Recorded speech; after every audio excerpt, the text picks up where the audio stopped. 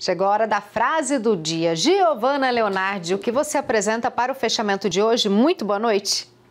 Olá, Ana, e boa noite a todos que acompanham o Jornal da Vida. Eu trago uma frase que remete à fome do mundo. Vamos a ela. Fome de Deus? Sim. Fome de pão? Não.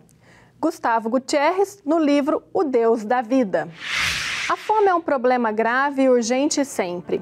Não se trata da fome que se sente quando vai chegando o horário da refeição mas da fome de quem tem a geladeira vazia. No almoço ou no jantar não tem o que comer.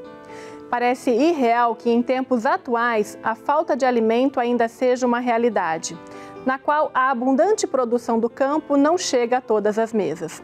A atualidade tem fome de comida, mas também de uma humanidade mais igualitária, onde todos têm oportunidade e garantia de uma refeição adequada, assim como moradia digna, estudo de qualidade, acesso à saúde, segurança no ir e vir.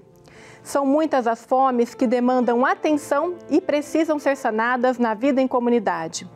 É preciso eliminar a carência e deficiência das muitas fomes, fomentando a fome de Deus. É isto, Ana.